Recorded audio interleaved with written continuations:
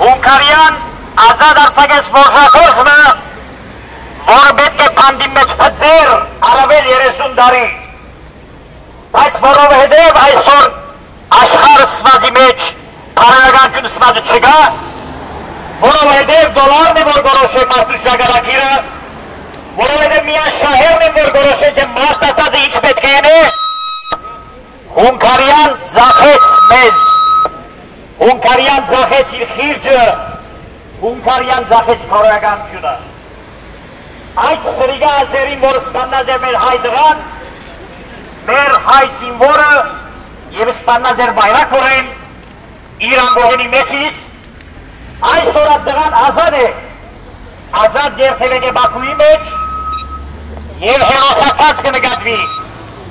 Մենք սիրեներ սպիրիչինով ենք, պայքարին,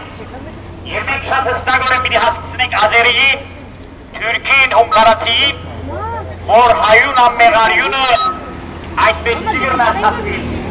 ադոր կինը պիտի վճարվի, եթե այդ ազերի շունը եդպան չվերաթարնա, մենք չես գլստայացնենք, որ հոին դարը պիտի թարնա, հոն պիտի վերաթարնա, և ադիկա խոստումն է մեր, և ադիկա խոստումն է ամեն հայու, շիրն անլալ, որ այս վիճագիտ, հայուն ամմեղարյան մեջ ոյ մեկը համացակի մտնել,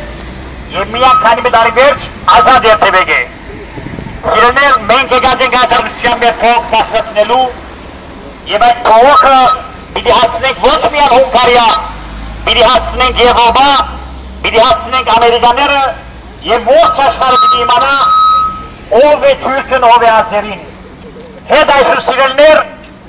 ազերի հետ մենք սղան պիտի չնստին, հետ այսու ազերին մեզի համար որև եք սևով խոսագի չէ,